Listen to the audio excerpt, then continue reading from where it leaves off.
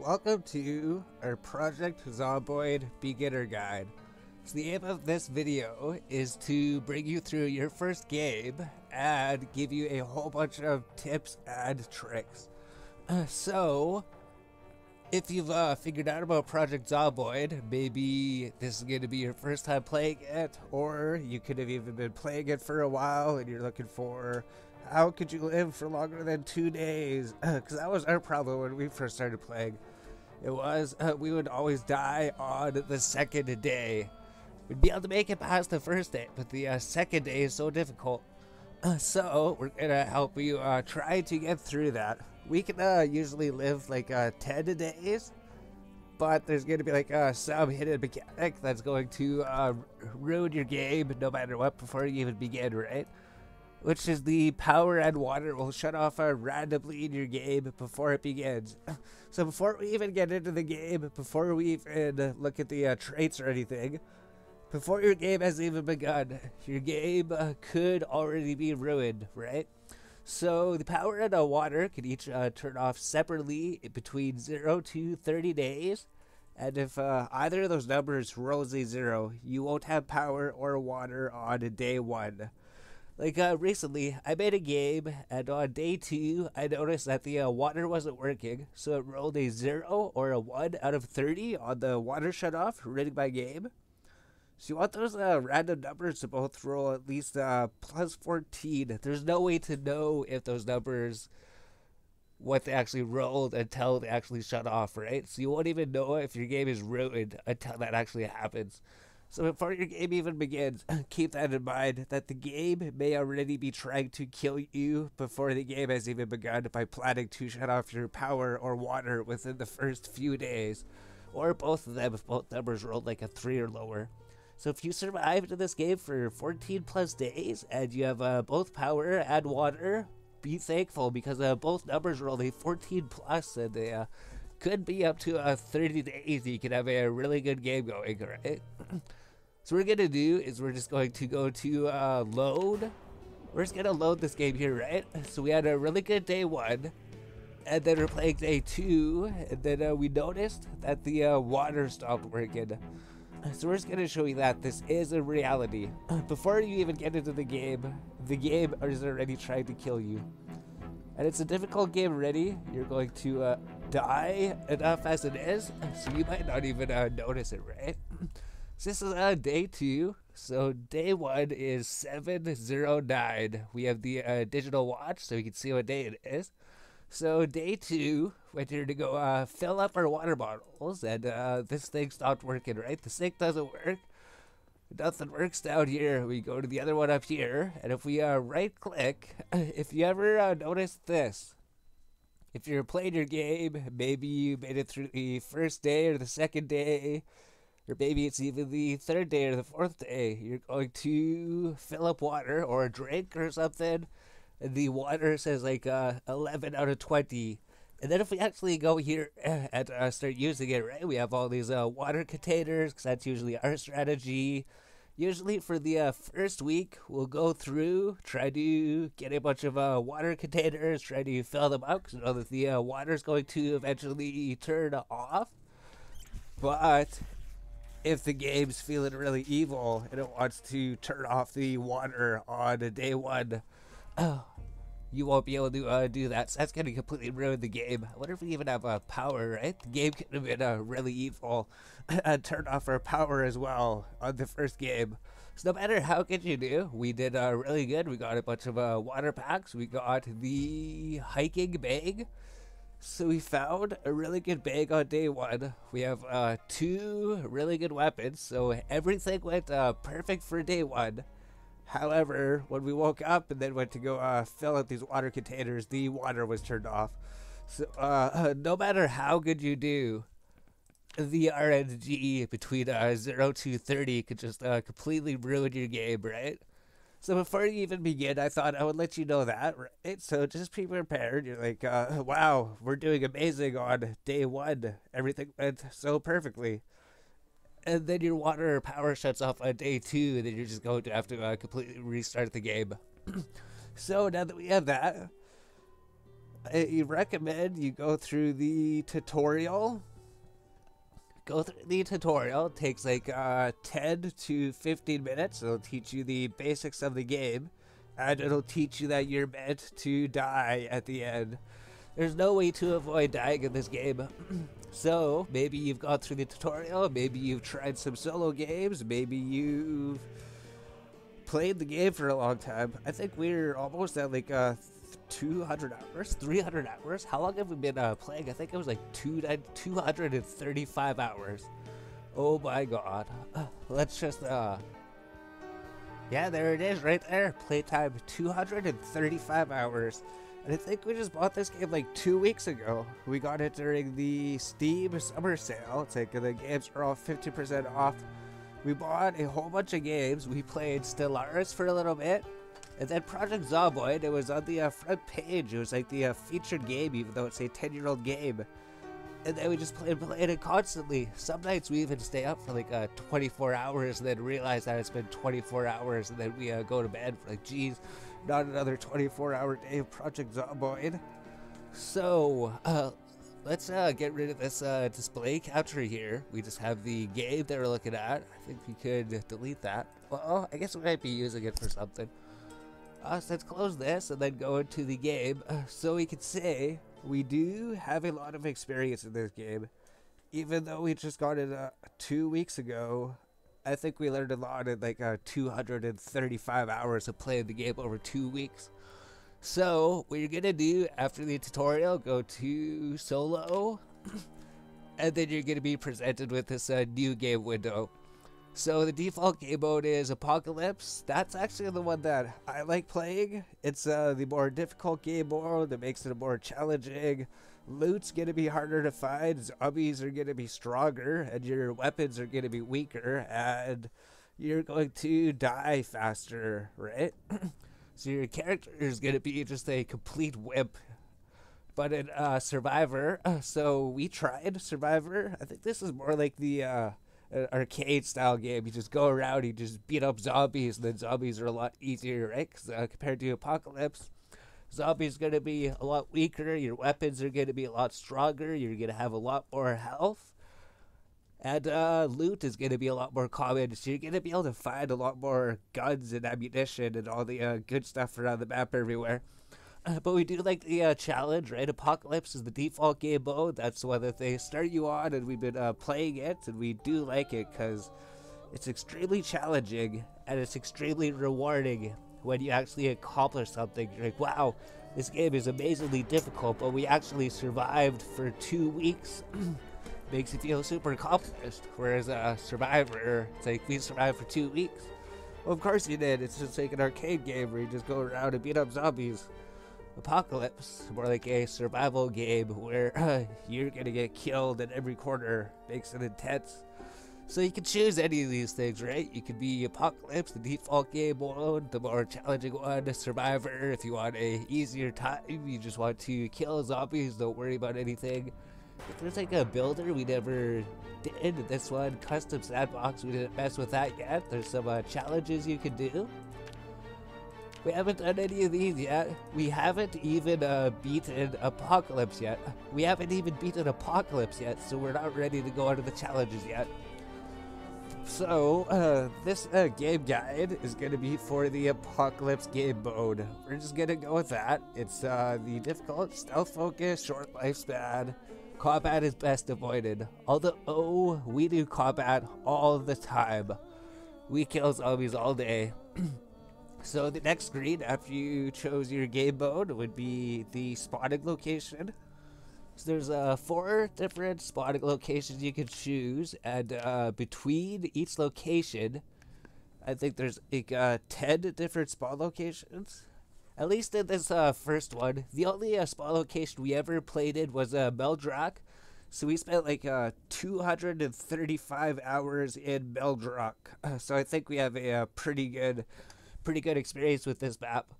Now, do keep in mind that uh, all of these maps they are connected. So you can start here, and then you could eventually drive up to these areas if you want. So they are all on the same map. They're just uh, really far away from each other. so you can uh, It's all like a one huge interconnected map. You can uh, look through here if you want to see what the uh, map might look like. Like, uh, we never played any of these three maps. They do look interesting, but uh, this is the one that we're used to. This is the default app, so we uh, know where everything is. When you're first playing, you're gonna get uh, lost all the time. You're just gonna be uh, running from zombies, then you're gonna be exhausted, then you can barely jog, and then you can barely walk, and then that's it. The zombies get you. But eventually, you would uh, figure out the map, right? You could see the uh, trailer park is here. We could see there's another trailer park. We know the uh, rich homes are up here. We know that there's the lumberyard. We haven't actually gotten to the uh, lumberyard for a long time. Because uh, eventually, you might uh, work your way up this road and then work up here and then find out that there's actually nothing up there. Uh, so that's why we never went up there. You want to spend most of your time inside the main town. Uh, so we're gonna do that. I'll KY, and then uh, within the, each of these maps, there's like 10 different spawn locations, right? So you could start out here, you could start here, you could start in the uh, rich houses up here, or in the uh, northern part of the map. But uh, most of them start spawning around the uh, middle of the map. so we're gonna do, it's, it's like the default spawn location, and then we have the traits window. So the traits window, uh, we've pretty much tried most of the uh, traits here, right? all these traits, uh, you don't actually uh, need them for anything. We figured that out uh, very recently, right? Always going here. We're like uh, athletic and strong. These are the uh, two most expensive traits. We want to get those things, right? Athletic uh, helps so much. It gives you 20% increase the movement speed, 30% less endurance loss and you can uh, fight for longer. I think it might increase your attack speed as well. Strength is good. Strong increases your uh, carrying capacity. Would be the uh, main thing that you notice, right? By default, your capacity is a uh, 12. With uh, stout here, with plus two strength, it would go up to 15. And with uh, strong, you'd have 18. Plus, you do more damage to uh, zombies, right? So having the extra inventory space would be good and all this thing, but uh, these things, we were using them. They're not actually needed. And there's a huge reason for that. Because in order to get these, you're going to have to get some uh, negative traits. So going through here, pretty much uh, most of these are actually uh, so bad that it's not even worth getting any of them. Like uh, Smoker, High Thirst, Thin Skin, Slow Healer. So let's just go through here, right? if you go look at the uh, top traits, everyone says that the top traits would be thin skinned, slow healer, high thirst, and smoker, right? Those are the uh, best ones. Best ones in the game thin skinned, high thirst, slow healer, smoker. They allow you to get uh, athletic and strong and give you uh, 12 points. So you could get like uh, organized and fast learner. I think those are like some of the other top traits. I think people get like uh, lucky. Uh, I know that uh, dexterous is really good, right? So people might get that. You're a negative six. You have to get some other traits here that are uh, negative. So I don't know what the other ones. I think like uh, pacifist isn't too bad. We still have two points. And maybe a uh, slow reader, right? Slow reader, you're just going to speed through, and it doesn't matter if you're uh, reading books slower. So you might have a skill tree like this, right? Athletic, strong, organized, fast learner, lucky, dexterous. I think these are all the ones that are on the uh, top list. Thin skin, high thirst, slow healer, pacifist, smoker, slow reader. This is what we were doing for a little bit. Like, uh, even at the beginning, we just had something uh, simple, right? We had uh, eight trade points. When you begin the game, you get eight trade points, so you can pick uh, anything out of here. I think we tried like uh, thick skin for a little bit. That one sounded good, and then we found uh, stout, and then we found out it increases our inventory space. So since we increased our inventory space, we never went back. Then we tried these ones. I think uh, dexterous. I think this was our like uh, starting starting build for a little bit, right? We don't have to take uh, any negative traits, and then we just get extra inventory space. Plus, we can, uh, transfer items twice as quickly. That was a really good one. So let's just go back here again. Uh, we'll figure out the uh, trait here. We do have a really good one we figured out. I think you're going to uh, like it when you see it. So let's go here. Thin skin. We'll just put these back on again. And then we will be jumping into the uh, game here pretty soon. We're going to point out uh, why these traits might not actually be worth it, right? so we go here. Faster organized. I think organized is alright. It's something unique. Uh, so if we go here, you could probably like uh, find some more things to add and remove, right? I guess that'll work for now. so we were playing with uh, athletic and strong for so long that we thought that it was pretty much uh, mandatory to get these right. If you don't have the increased uh, movement speed and you're running out of red energy, the zombies are just gonna catch you and kill you every time. However, that's not actually how you're supposed to play. You're not actually supposed to be uh, running around everywhere, running away from the zombies, getting trapped and getting cornered and then getting eaten by them. You're supposed to actually fight the zombies. You're actually supposed to sit and fight them. so, athletic, it's not as good as you would uh, think it would, right? Because uh, you start with uh, 5 fitness, you start with 5 strength. This will bring it up to uh, 9. That's really good. And then uh, strength, strong, the uh, inventory space. It is amazing having uh, 18 carrying capacity and doing more damage and be able to knock down the uh, zombies a lot quicker. But actually, if you figure it out and you play long enough, the uh, 12 carrying capacity is actually not that bad. And you can still kill uh, zombies pretty decently as well as eventually you would be able to uh, trade these up yourself, right? Without uh, picking them at the beginning. If your character lives long enough, you can actually gain these traits in game. Which isn't entirely true, because I know the experience is so slow. It'll take you, like, uh, I bet, I bet it would take you over uh, 1,000 hours to get these.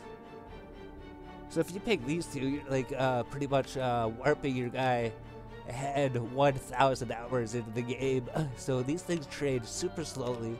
It would be amazing to get them at the beginning of the game, but if you uh, get rid of these and you learn how to play with just your uh, starting strength and fitness, you get rid of this thing, right? Thin skin. You're gonna be able to live longer. So that's why we don't like this one, because all this says is uh, you're gonna get killed faster, and it doesn't say any of these positive traits seem to be uh, worth the uh, trade-off to uh, get killed faster to do good at something else. Same with this thing, slow healer.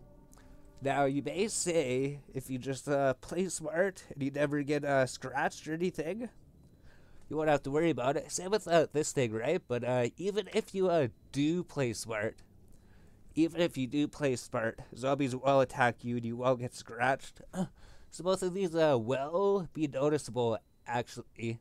Because even when our guy, would, we're just like uh, jumping a fence, when our guy jumps the fence, he like scrapes his shin and then he can barely walk. So if he can heal faster, that'd be good. And if he has a less chance to scrape his uh, shin, I think it's also like the uh, code we were looking at. Like uh, thin skin, when a zombie attacks you, by default, he has like a 25% chance to infect you. With a thin skin, it jumps up to a 40% chance. With a thick skin, it drops down to like a 12.5% chance. So it's uh, really good to get. Uh, this one would be better, I would think. But you're not going to get all the uh, negatives to get it right. And uh, High Thirst and Smoker, these two, they may seem like good. But at the end of the day, all you're really doing with these things is the game's asking you, uh, we have the default thirst rate. It's like, uh, this is the default amount of water you're gonna need. Did you want to drink more water? Have to drink more water, or drink uh, less water, or do you just want to leave it as the uh, default? So that's usually what we're thinking, right? After going through all these things, we realized that these are just like uh, sliders to change your gameplay, right? Did you want to make uh, less noise when moving? Or did you want to make uh, more noise when moving, right? Clumsy, yeah. Do you want to make uh, more noise when moving? Or do you want to make uh, less noise when moving? Or you could choose the uh, default and then just be a default. Do you want to be uh, less likely to be spotted by zombies? Or did you want to be more likely to be spotted by zombies? Or you could just leave it at default and then just ignore these. Because that's what we figured out. Even uh, these things, right? It's like, uh, did you want to be cut more easily? Or did you want to be cut uh, less easily? Or did you want to leave it at default? Because it uh, never seems to be a good thing to uh, take these to make more uh, negative traits. And then this uh, smoker one. you're just gonna find a bunch of cigarettes, but you're never gonna find the matches or the lighter. Although we do find the matches and the lighter, we've been uh, finding them a lot more often, actually. All you just a run to the gas station and then you find them. But if you never find them, then this trait uh, pretty much uh, kills you. trait it makes it so you can't even go to sleep. Then a pacifist, I think a assist with uh, fast learners like the uh, combo, right? It just costs two points, and then you get 30% faster XP, and then you get uh, 0% uh, increased weapon XP. So I always thought uh, Pacifist was amazing, so all it is is you gain less weapon XP, but actually, actually we ended up uh, using our weapons a lot. So we uh, got rid of that one. Let's just look at our uh, final tree here, right? So after everything, I mean, we're let's look at the uh, the last uh, strength and athletic one, right? So we went back to it. So uh, maybe we need strength and athletics. They're so good, or at least uh, athletic or something. I guess they're like, uh, way back here. It's been a while since we used uh, strength and athletic. We used athletic here, but then we had to get a thin skin, slow healer, pacifist. These are like the only two that we want. So if you can uh, manage to play, learn to play without these two, that's uh, 20 points that you get back. And then let's just look at our final traits, right? So after playing for 235 hours, this is what we came up with. You don't have to take any of these negatives, right? You don't have to worry about uh, your skin being broken a lot easier. You don't have to worry about your wounds healing a lot slower. You don't have to worry about uh, drinking twice as much water. Because everywhere that we read and everyone says that like uh, water's not an issue, you can get enough water. But uh, my theory is if we have like uh, let's say we have like a uh, 10 hour supply, let's say we have like a one hour supply of water, right? If we have a one hour supply of water, we could uh, run around, do things for one hour. If we have like a 30 minutes, I guess not 30 minute, right? Because you're not even going to be awake for an hour. You're just going to be awake for like uh, 30, 30 minutes at a time. So if you have like uh, 30 minutes worth of water, we could run out and do stuff all day. We don't have to worry about water. But with the uh, low, high thirst thing, we'd only have uh, 15 minutes worth of water uh, don't say that we can just carry uh, two water bottles. That's even more uh, inventory space you have to worry about. Like if you're uh, lost in the woods, or if you're going on a vacation, let's say that you bring like uh, five hours of water with you. five hours would only be worth like two and a half. We're saying we could uh we could be away from water for twice as long, right? So we can make uh, longer trips. We don't have to keep searching for water all the time. Same with uh, this thing. So all we did was a uh, weak stomach, short-sighted. These are like the only traits that uh, do not give you any negatives at all. They don't give you any negatives. Short-sighted, you just wear glasses. That's it. And the only thing it affects is foraging. Or when you're uh, searching, when you use that search mode, which you barely use, it just decreases the radius by two. But if you wear glasses, it doesn't actually do anything, right? So if you go here, you go to your uh, character creation, you just click on uh, glasses, wear those, and then that nullifies the negative effect. So this uh, doesn't do anything. Then a uh, weak stomach, all you have to do is just uh, not eat rotten foods, don't eat uncooked foods. You're never gonna do that anyways. So since you're never gonna eat a rotten or uncooked food, you're never going to run into this. But that gives you an extra five points to actually uh, put some extra things on your tree, right? Without this, we just have eight points normally. Out of all these, these are the uh, only things that we can actually uh, consider, right? I mean, a slow reader, you can get that. You just speed up time to read books, but you get a 30% slower read speed, or you could get 30% uh, faster read speed, or you could just leave it at the default, default, uh, default rating. So that's what we do. I mean, you will be reading a lot of books once you uh, learn the game, actually. And then we got like uh, organized. This one's amazing. It's the only reason we got it. Wakeful, same with that. That one's amazing. You could uh, stay out for 33% longer. Stay out and uh, loot things and kill zombies for 33% longer. Which we'll talk about when you get into the game. As soon as you get that uh, drowsy modifier, you're gonna want to go to sleep. You're gonna want to stop uh, fighting zombies because as soon as you get that uh, drowsy modifier, your damage is reduced by 50%. So you uh, cannot fight zombies whenever you're tired.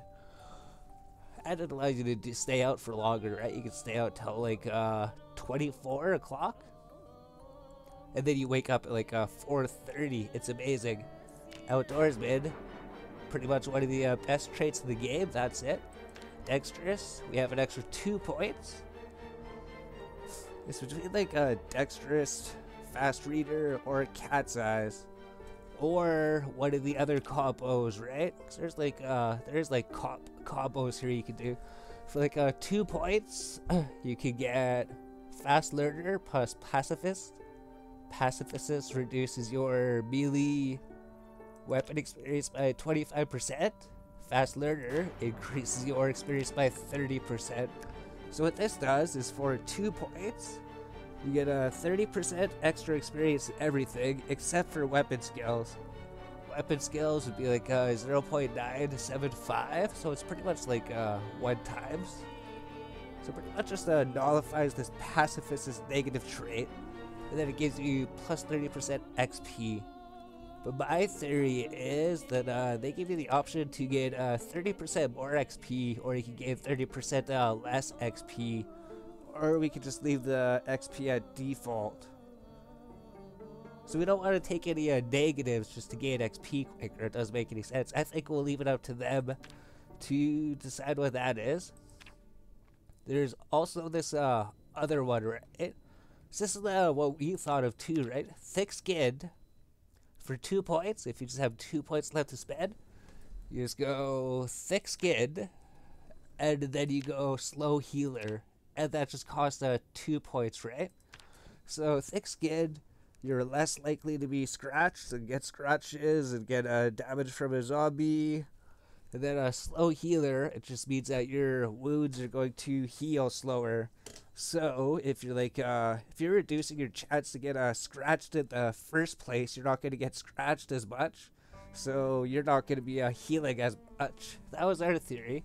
That's like another uh, two point combo. So you can take like a negative eight trait and then a negative six trait, put them together, then it just costs you uh, two points to get that thing right. So there's cool things like uh, that that you could do. I think another one was like uh, athletic plus four to fitness for 10 points. And then you get uh, underweight, negative one to fitness for six points.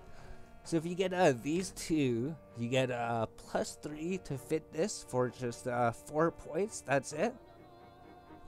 Right? Athletic plus uh, underweight. Then you get three fitness, and it just costs you four points instead of costing uh, 10 points. You do get underweight, but you can uh, fix that by eating a lot of food there's other cool things here, right? But like we saying, we don't figured out that we don't need any of that if we can just uh, keep our tree simple, right? With like uh, eight points here. If you're to build it from scratch, I think we would just be like uh, short-sighted. That doesn't do anything. Weak stomach. That doesn't do anything. And then I think like uh, organized, the one of the best traits in the game. I think out of all of these other traits. Organized is one of the things that's amazing, right? You could get lucky, right? Lucky, it is amazing. We did play a game with this. And we found so many weapons. It increases your chance to find like uh, weapons and guns and ammunition and everything. It was like uh, so many houses had so many good uh, stockpiles of weapons and everything with this on. But it's gonna cost you four points. Then you're gonna have to get one of these uh, negatives, right? You can get like uh, pacifist. We lose 25% weapon XP, but we find more weapons. Ah, uh, but you want to uh, level up weapon skills anyways, right? Organized. I think it's uh, wakeful, outdoorsman, dexterous. They're just all the uh, two cost ones that are amazing. We still have one point, so we have uh, one extra point, which is why we get a speed demon, right? Because it seems like in all of our builds, for some reason, we always have uh, one extra point left over to spend, and then speed demon is the only thing to get for one point. So it's actually pretty decent. It increases your uh, gear switching speed by 200%, and you can uh, drive 15% faster in your vehicle. So maybe if you have one extra point, it's a good one to get don't ever go with uh, this one, right? Don't go with Sunday Driver. We used to go with Sunday Driver because you can get a Sunday Driver. You drive very slowly. That doesn't matter because you're going to die before you get a vehicle, which is uh, which makes sense. But once you get a good enough, and then you figure out how to actually get a vehicle, this one does end up affecting you, right? So for the beginning, maybe get a Sunday driver because you're never going to live long enough to drive a vehicle anyways. Then you can get a cat's eye, something that uh, would help you. But then once you uh, figure out the game and you get good enough that you can actually uh, start driving uh, vehicles consistently in your games, then you want to start getting Speed Demon. So there we go. Super simple uh, trait tree. We don't need anything here. All these don't need them. Organized, wakeful, outdoorsman, dexterous, speed demon, and all we have to take for the negative traits is just short-sighted, weak stomach, right? No thin skin, no slow healer, no high thirst, no smoker, no pacifist, no slow reader. All those things are uh, too many negatives, right? So before we end the video, we'll end the video here pretty soon. I didn't think it'd be a 32 minute one, right? So just look at all the things that we're uh, not getting, right? All these things that are we used to get. All these things we used to get because they don't make sense to get them. Thin skin, we're gonna live longer. Perfect. Slow healer, we're gonna live longer. Perfect. High thirst, we could go out for longer trips without having to uh, go back to the uh, lake all the time. So I think that was something we were thinking about too, right? If you have a high thirst, you're just gonna have to go to the uh, lake twice as often, right? You could uh, go to the lake, pick up a five-hour supply of water, but if you uh, didn't have high thirst, it would be like a 10-hour uh, supply of water, essentially doubling it, right? High thirst, we go pick up a five-hour supply of water with high thirst. If we uh, didn't have high thirst, we could have a 10-hour uh, supply of water. So that's our theory. I'd rather uh, our water be uh, what we could uh, we don't have to carry as much, or water goes twice as far, right? Yeah, water goes twice as far. We don't have to go to the yeah, lake. We have to go to the lake half as often if we take that out, right? Smoker, we don't have to search for smokes. We don't have to search for cigarettes. We don't have to worry about that. Pacifist, we could level up our weapon skills, right? Leveling up your weapon skills is pretty good, so Get rid of that thing. Slow reader. Will read books. Reading books is alright. The default speed's good. And then there we go. So, this is the ultimate skill tree, I would think. The ultimate one. There's uh, no better skill tree in the game. So the next video, we'll go through day one and then figure out how your day one should be.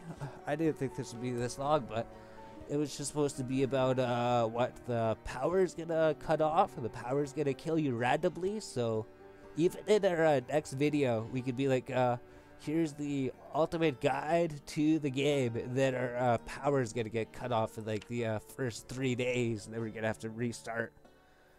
So there we go. Part one.